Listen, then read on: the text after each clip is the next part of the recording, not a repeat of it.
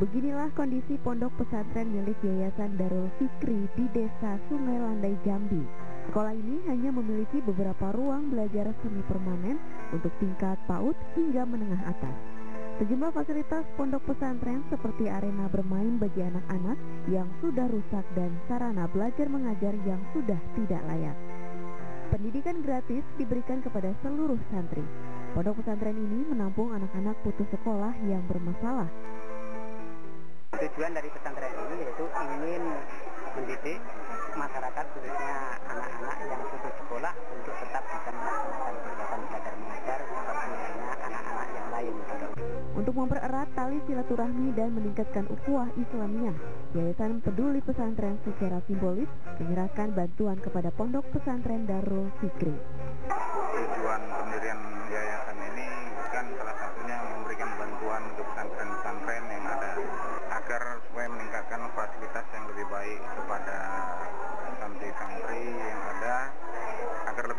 konsentrasi dalam menuntut ilmu. Dalam hal ini Pak Hari menyampaikan agar bantuan ini dapat membawa berkah baik kepada pondok pesantrennya, santri serta umat di sekitaran. Yayasan Peduli Pesantren akan terus berkontribusi untuk membantu pesantren kecil di seluruh wilayah Indonesia. Dari Jambi, tim liputan MNC Media melaporkan.